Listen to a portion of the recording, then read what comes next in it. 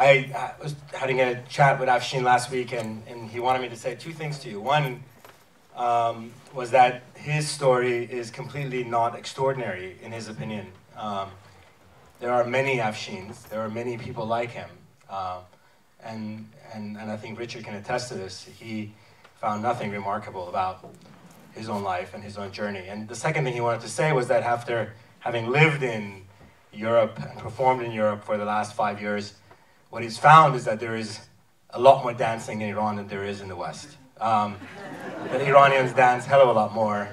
Um, and, and here it seems to be designated to nightclubs and very specific times, where in Iran people dance at any time and all the time, whenever they get an opportunity. And funny enough, while you guys were watching this and we were out, I was on Twitter and Facebook, and my feed was flooded with videos and images from Iran of people dancing in the streets. Um, having said that, um, obviously, as you saw this film, this film is not about uh, politics, it's about people. And it's about, you know, and, and despite of what happened today, much of the circumstances that existed in Iran, the people who are still in jail, the restrictions that existed still exist, haven't changed, and the people are still going through the same thing. So one of the things that I wanted to ask you as we go into this next segment of this is that what we want to talk about is the film, what we want to talk about is the things that have informed the film, um, the story of the film, and once we open up the Q&A, I would really appreciate it, as well as uh, Richard and Nina would appreciate it if we kept the comments and conversation and questions away from the nuclear deal. None of us here are equipped or qualified to have that conversation, especially, uh, uh, you know, we felt on that part. None of us, to be honest with you. And so this is not what this is about, and we'd appreciate it if you sort of focus on the film and the issues around the, around the film and, and also your thoughts on it. Um, so thank you. Um, I wanted to introduce you to uh, Dr. Nina Ansary. If you haven't heard from her, you should. Um, and uh, a little bit about her. Born in Tehran, Nina Ansary left Iran in 1979 and has not returned since. She received her BA from Barnard College, her MA in Middle Eastern Studies from Columbia University, and her PhD in History from Columbia University. She serves on the Middle East Institute Advisory Board at Columbia University on, uh, on Columbia University's Global Leadership Council and on the Board of Trustees of the Iran American Women's Foundation. She's a member of the American Association of University Women, the National Organization for Women, NOW, and U.S. National Committee for UN Women. Her upcoming book, Jewels of Allah, The Untold Story of Women in Iran, was inspired by her scholarly journey, journey and illuminates the stereotypical assumptions of women in Iran today.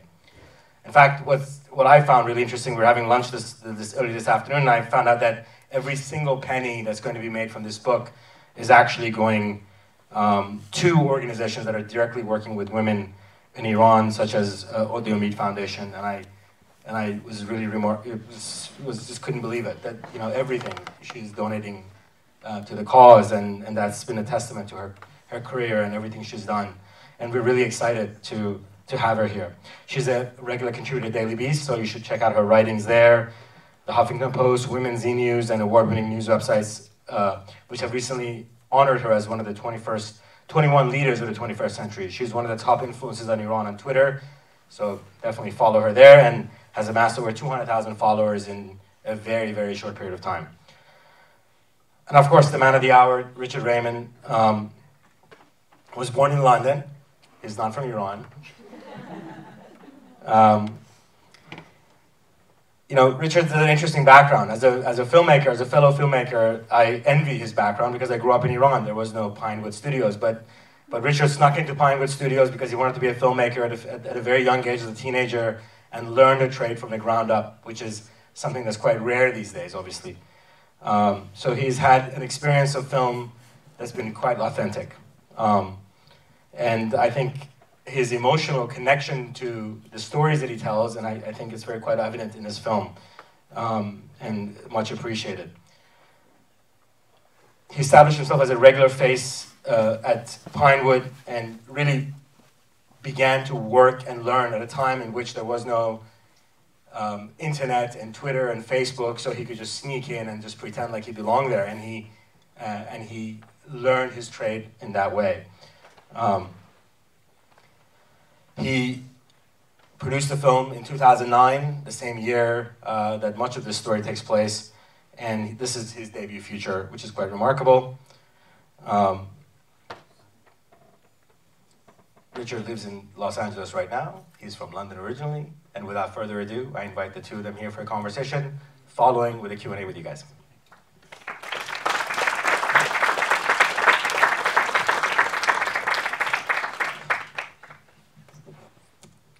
Yes. Congratulations, Richard. Um, Desert Dancer, um, the stunning uh, directorial debut of Richard Raymond. Can we have a round of applause? Thank you very much. Uh, Richard, congratulations again. How difficult was it to make this movie? Think of the most. It, it wasn't difficult to make the film. It was difficult to, to be able to get it made. Uh, I think it was the hardest thing I've ever done in my life was to be able to raise enough money to make this film. It took a long, long time. It took thousands of people telling me no. It took thousands of people telling me no one, uh, no one would be interested in the story about Iran or the Iranian youth.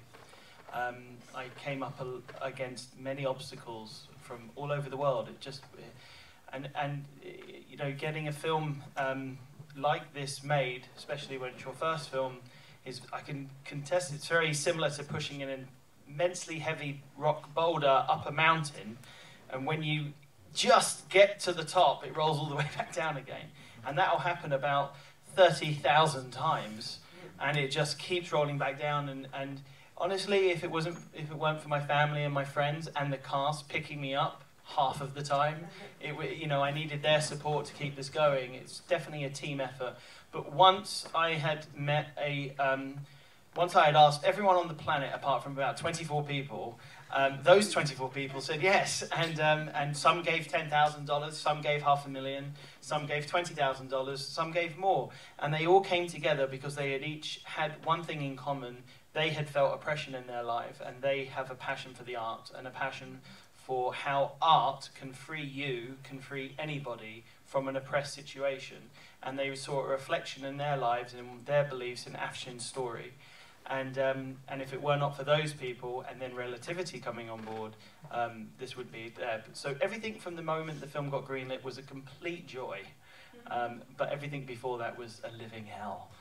Well, um, you know, the movie makes many powerful statements. First and foremost is, despite the reg current regime in Iran, how uh, the, an oppressive atmosphere cannot stifle creativity, nor extinguish artistic expression and passion.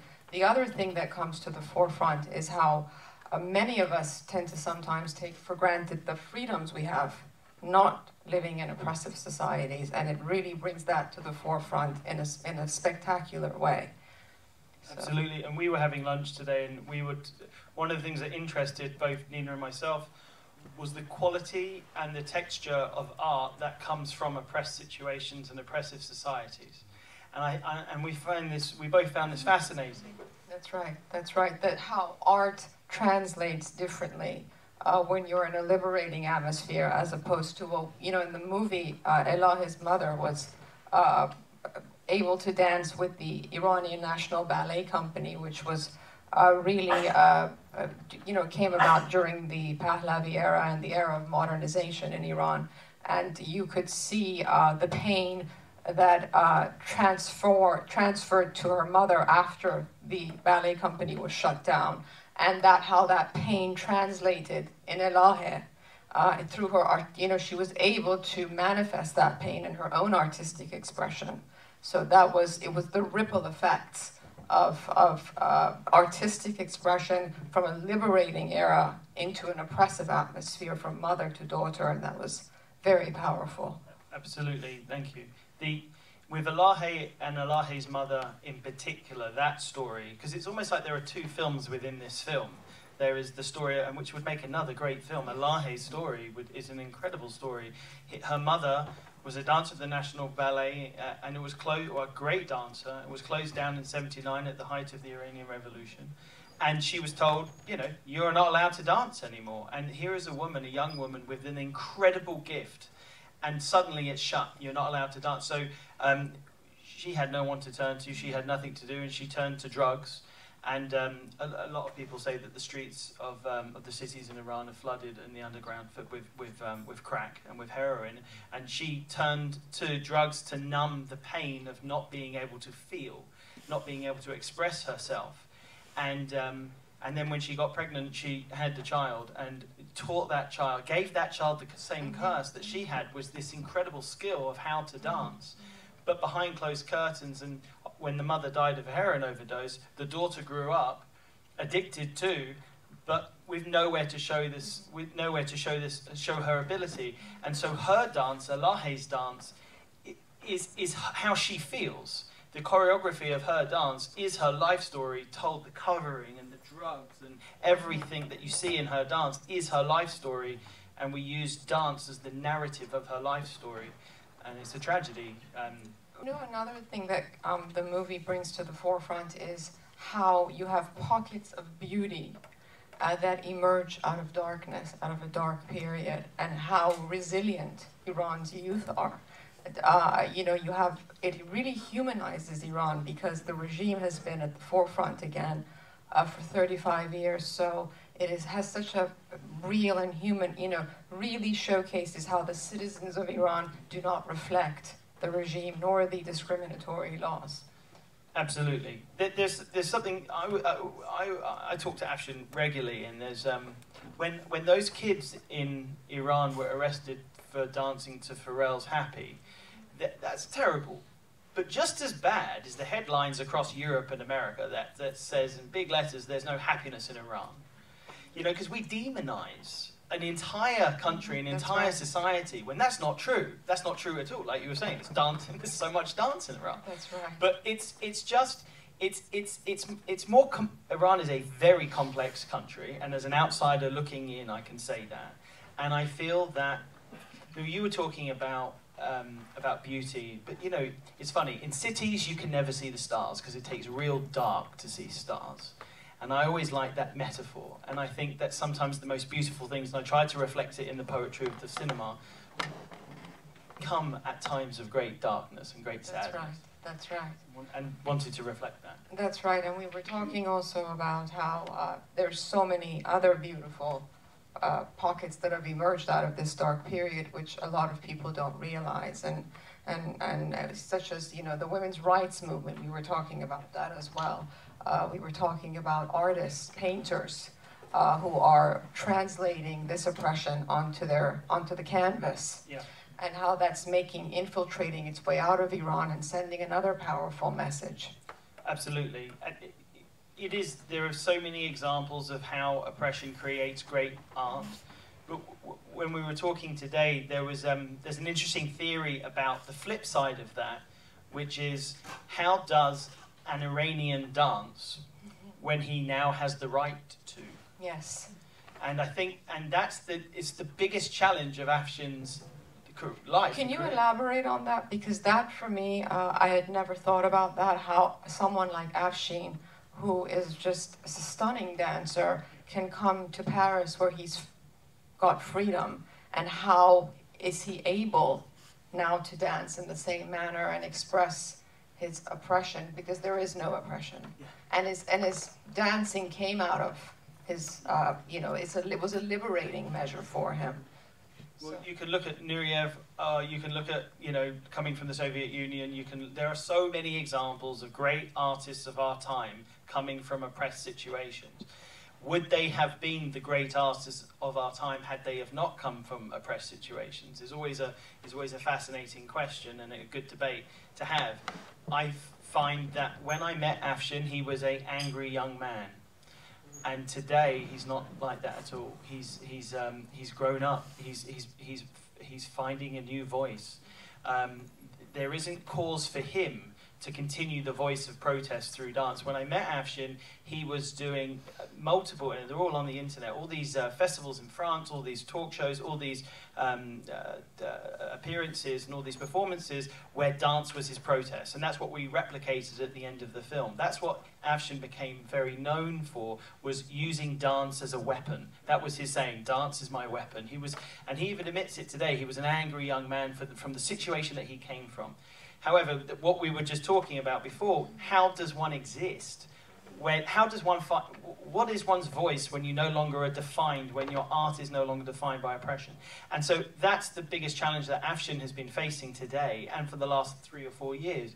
He, he wants to find his own voice as an artist, and he's on that journey now. And um, you can look at his videos on YouTube. He has a, um, uh, a, a, dance company called Reformances. They're on Twitter, he's on Facebook, all his videos are online, and they're very different now. He has one called Le Cry, um, Le Persian Cry, which is similar to protest dance, but his dances after that are pretty out there. They're not they're not protest dance, and but he's finding his voice. And I don't. I always think it's um, not fair. I mean, I've been I'm 37. I've been trying to be, uh, uh, I've been learning to be a film director since I was 15 years old, but it's taken me 22 years to find my voice. You know, so it's, I, I think it's unfair to, um, to, to, to pressure somebody to, to know who they are so quickly. And remember, Afshin and his friends learn how to dance on YouTube. you know, this is, you know, and, it, and what we don't show in the film, because it would be dramatically boring, is that it took 12 hours to download through the proxy servers just one YouTube video. I was going to bring that up. I yeah, was going man. to say with all the blockages. Yeah, the, the yeah. proxy server slows it down right there. Sometimes they would have to use two proxy servers. And yeah, can you imagine? That would not be you could get away with, with a dissolve, but still. Um, and so, and so basically, it, it was they were up against it, and they weren't great. And that's what made it so special, is they weren't great dancers. And, and that's what we tried to replicate with the actors. We chose actors that had no dance experience whatsoever. Uh, I mean, Freida Pinto did a little boogie at the end of Slumdog Millionaire, but but she dedicated herself 12 months of training. Reece Ritchie had uh, experience in martial arts, had no dance experience professionally. Tom Cullen, who played Ardy, um, he had he had some physical theatre training. So we used those things so they wouldn't be perfect dancers. Right, it was raw dancing, but yeah. it was you know dancers with no formal training. Yes. And that you know, and that's the reality of anyone who wants to dance in Iran. There is no formal training. Yes. So exactly. and that was really came through in the um, movie, which which is wonderful because if you had them dancing in a professional capacity, the audience would be left to wonder how is that possible. Absolutely. And the other thing is today there are dance classes in Iran, but you have to look for the door that says aerobics, or you have to look for the door that says netball. That's that, or, uh, or hip hop classes. I think a basketball practice. You know, it's all that world. Code, coded. Yeah. Coded. Oh, yeah. Absolutely. Of course.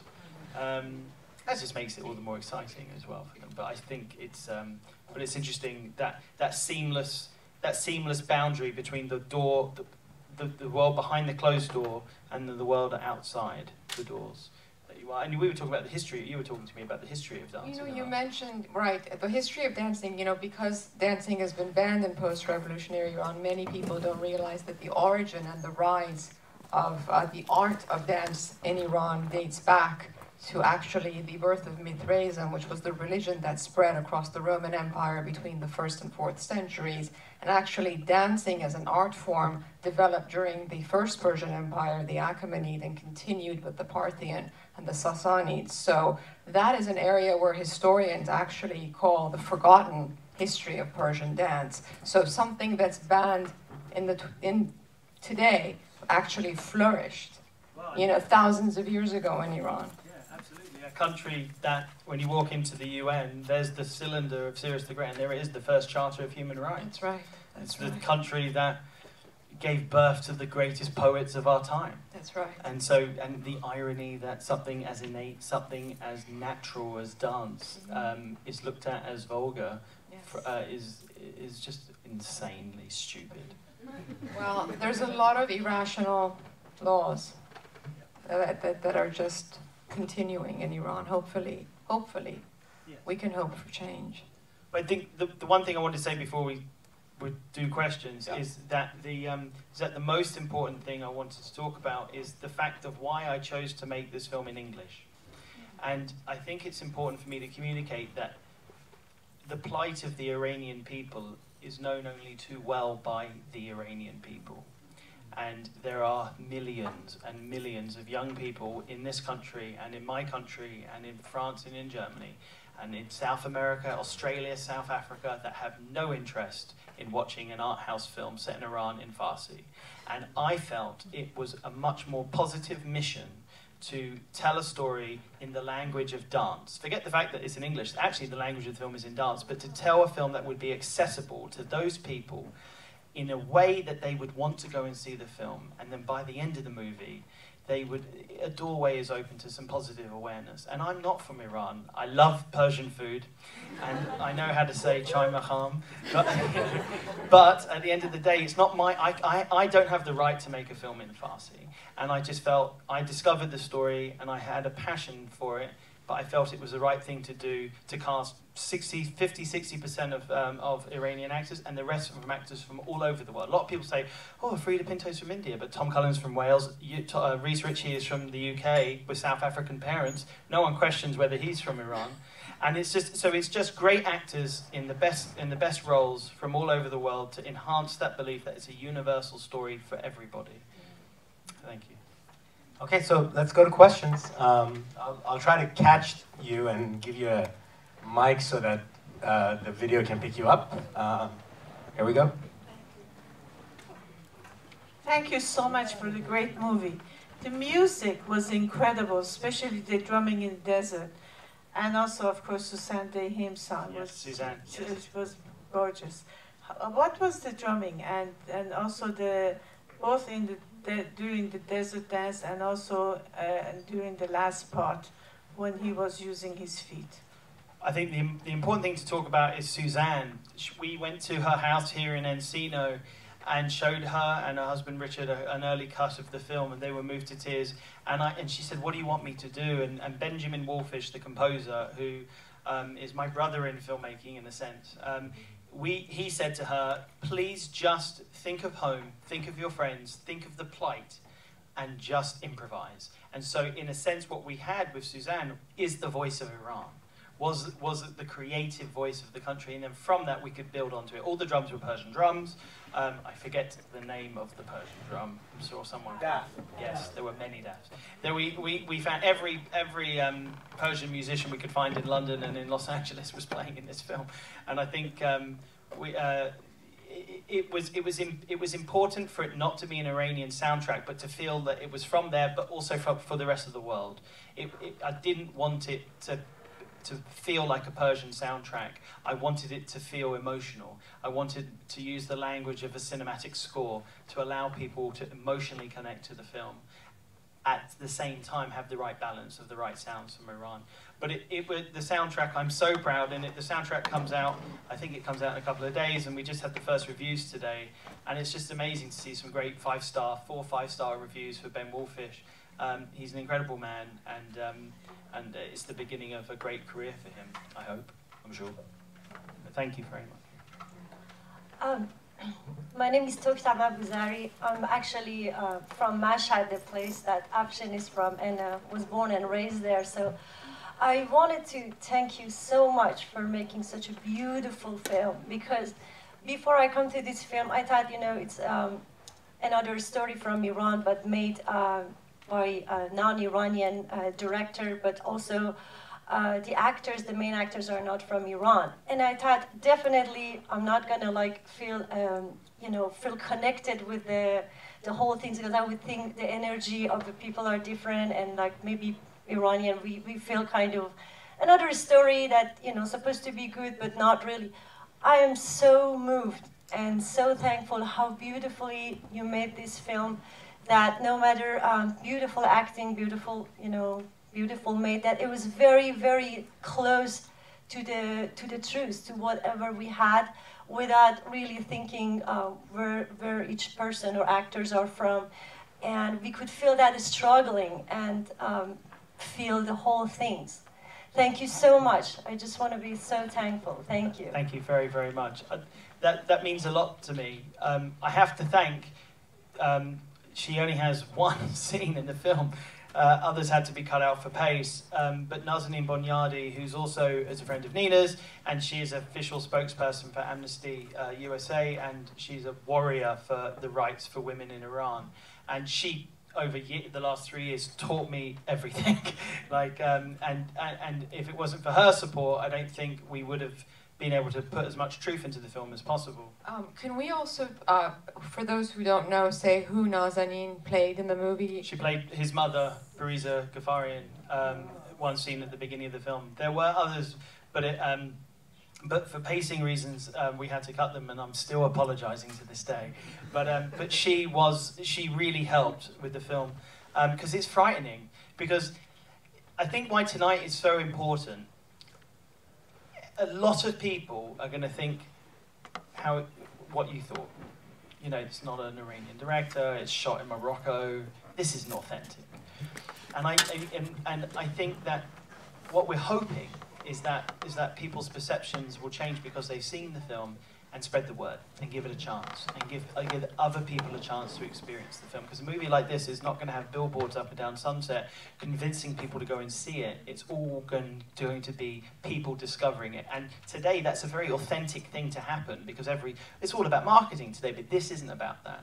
We, we, we were told when the trailer first came out, we were talking about this earlier, um, that Relativity said to me, oh, you know, look, it's a small movie we're, we're going to back it all the way, but if we could get like maybe 250,000 views of the trailer, that would be amazing. Well, okay, so we're keeping our fingers crossed, and a month and a half later, we've just hit 10 million. And that's all from people, groups of people, and a lot of Iranians passing the trailer around to groups of their friends saying, you should watch this, you should watch this. So I'm hoping that people can in, in become our warriors and to, and to pass this on. And, and that would say a lot about society today if, if that were to happen. The movie sends such a powerful message. It's such a, from a, even a humanitarian perspective. So even if you're not, um, you know, if you're any, any way connected to humanity, it sends, you know, you should be talking about this movie. Thank you. Uh, hi. Um, could you talk a little bit about the process of writing the screenplay? Did you sat with Afshin and just uh, went through his life story? Did you got other source material and stuff? Thank you. Sure. The writer of the film is not me. The, the writer is Jon Croker, who's an incredible young writer uh, based in London. Um, John and I worked very closely together with Afshin. Uh, we went, you saw the clip at the end of the film of Afshin talking. There's eight hours of that, and we went to Paris multiple times and spoke to him. And one of the times that we went, we took a video camera with us. So that interview is from 2010. And we just recorded eight hours of him talking about his entire life. And, and that happened about two or three day, times. And we then had his entire life in front of us up until he was 22, 23 when we met him and we just broke it down into cards and we and we broke it down. And obviously it's not a documentary it is a movie. It is based on his true life story but we had to the desert dance actually happened in 2007 you know so we've had to it, the whole his whole story apart from the childhood takes place in 3 years. We've condensed it into 1 year. And we've had to take creative liberties to really just be able to tell his story in the way that we've told it but never once have we veered away from the truth everything in there, and there's a couple of instances where specifically it didn't happen to Afshin, but they did happen to thousands of other young Iranians. So in the sense of that, where we didn't tell Afshin's story, we told the story of the Iranian youth, who we all, John and I felt are the heroes of the film in a sense. Um, but it was, but with independent films, it's always difficult because you can never film the screenplay that you wish you could film because you always have, um, you always have issues. But there's something about the innocence of making mistakes and not being able to, to to shoot what you set out to shoot, and it's somehow the alchemy it worked. But yeah, it was an interesting process. Hi, Richard. Um, I, I really also just want to thank you very much for caring about an Iranian boy's story so much and having the passion to go through that hell stage that you speak of and making it through to the other side. It's really, I'm so deeply, deeply touched by um, your being touched by the story. Thank, Thank you. you. Um, and you know, one of the aspects was that there, that took place during the Green Revolution, and you know it's been years since then, and people cared about that for about five minutes, non-Iranians, but you continued to care about it, and you know remind us again and remind non-Iranians of what took place in Iran, what opened for a small period of time. But do you imagine that what's happening today would have happened if it were not for that? You know, it's it's it's very. I, everything is cause and effect, and I think even though it was um, squashed, even though it was, you know, as the, the regime said, it was crushed, that rippled, that that rippled, and it affects it affected everything, and in a positive way. They're just. It, I was so affected by the protests there because it was before the Arab Spring, but here's a here's a country and here's a people that even though you know, 121 young Iranians were killed on the streets.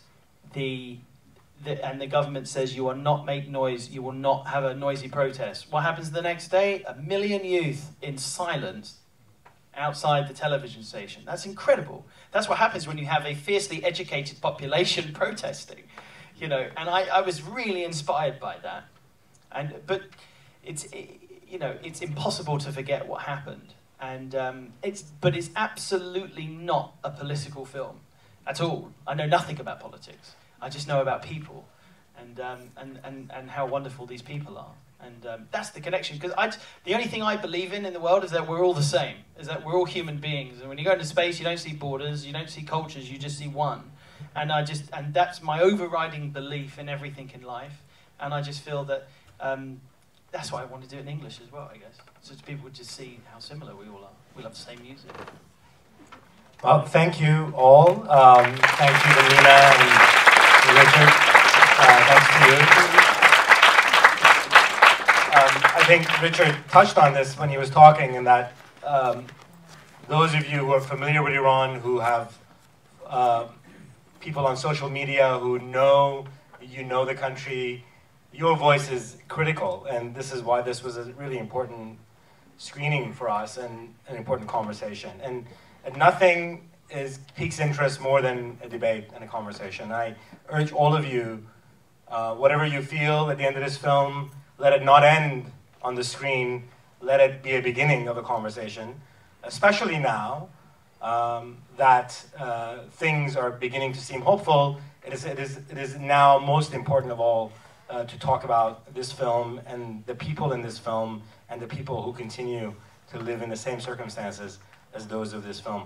Thank you, Richard. Thank, Thank you. you. Nina. Thank Thanks to all of you. Thank you.